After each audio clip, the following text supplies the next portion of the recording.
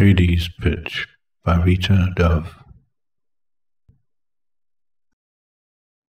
If I could just touch your ankle, he whispers, there on the inside, above the bone. Leans closer, breath of lime and pepper. I know I could make love to you. She considers this, secretly thrilled, though she wasn't quite sure what he meant. He was good with words, words that went straight to the liver.